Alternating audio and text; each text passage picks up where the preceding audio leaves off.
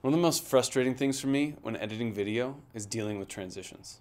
Of course, if I have perfect footage every single time, overlapping two tracks in ScreenFlow is easy. The frustration comes in when my tracks aren't long enough to support transitions, meaning I have to cut off a bit from the beginning or from the end just to make that perfect switch. So follow me as I go through my two favorite ways of dealing with this issue.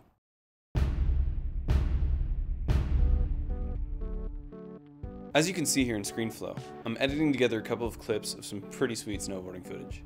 These are the two best takes, but unfortunately the cameraman stopped recording a bit early on the first clip. See how I only have a split second of the landing? So watch what happens when I just slide the tracks together to make a transition.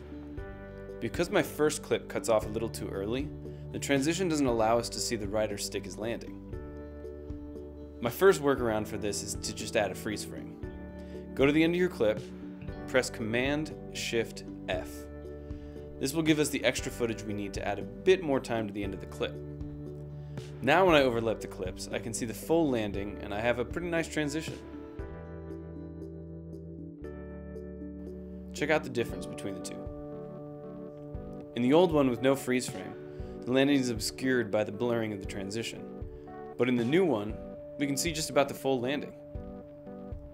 The second way I get around these kinds of transitions is by slowing down the end of the clip. I'm going to split the clip right here, just before he hits the ground, and then open the clip inspector for the new short clip. I can toggle the speed to about 40% and then overlap the two to create the transition. Now I have the full landing, as well as a bit of the stylized slow motion effect, which is pretty cool. Check out the difference between the old transition and the two new ones.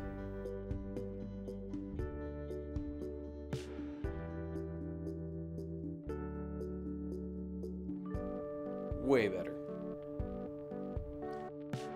So as you can see, these are two ways of getting around this issue, but they aren't the only ways of doing it. Experiment, see what works best for you. I know these work for me, but whatever you can come up with is probably just as good. Happy casting.